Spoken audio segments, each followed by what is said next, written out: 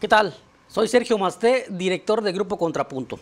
El Partido Revolucionario Institucional está frente a su peor derrota desde 1929, cuando se fundó y durante varias décadas se conoció como partido hegemónico. Cuatro de cada cinco mexicanos decidieron no votar a favor de dicho partido. De hecho, el PRI solo estuvo 12 años en la oposición desde su creación, al perder los comicios del 2000 y 2006 ante el PAN. Y tiene tres años para lograr la unidad, renovarse o de lo contrario estará condenado a desaparecer. Por cierto, ningún quintanarroense priista estará en la Cámara de Senadores o de Diputados. ¿Por qué decimos que tiene tres años para levantarse de la lona?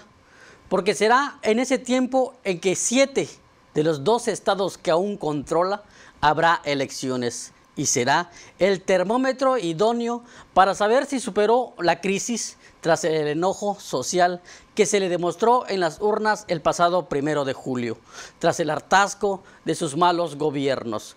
Su líder nacional, René Juárez Cisneros, señaló que los factores de la derrota del PRI son muchos, pero indicó que todos son corresponsables.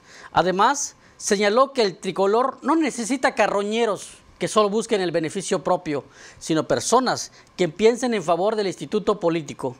Urge que se calmen los ánimos y se dejen de repartir culpas de forma innecesaria, cuando lo que se necesita ahora es unidad y madurez.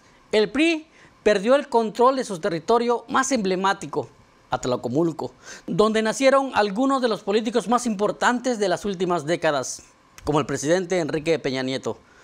No ganó ninguna de las nueve gubernaturas en disputa. Además, perdió cientos de ayuntamientos y diputaciones locales. Por si fuera poco, también disminuirá su financiamiento público. Recordemos que las cifras se asignan con base al porcentaje de votación obtenida en los comicios. El apoyo que obtuvo su candidato ciudadano presidencial, José Antonio Mitt, es del 16.4% de votos. Es el candidato con menos votación en la historia del partido.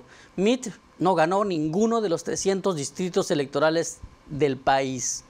Y la diferencia fue incluso de 9 a 1 en estados como Tabasco o resultados por debajo del 10% como Baja California. El voto de castigo al PRI el pasado primero de julio fue brutal, devastador, como pocos partidos lo han recibido en el mundo. Enrique Peña Nieto terminará su gobierno con la peor evaluación a un presidente mexicano desde que comenzaron a realizarse las mediciones en los años 90, con un respaldo promedio del 20%, según empresas consultoras y de opinión pública. El camino para la reanimación del PRI no se ve fácil, porque se desconoce cuál de los grupos internos se quedará con su control.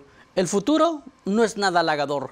Llegó el tiempo de renovarse, o morir en el intento. Hasta la próxima.